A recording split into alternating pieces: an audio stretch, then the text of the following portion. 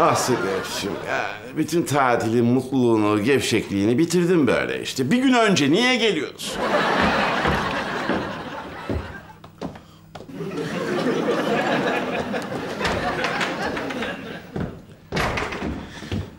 Açıklayabilirim. Açıkla.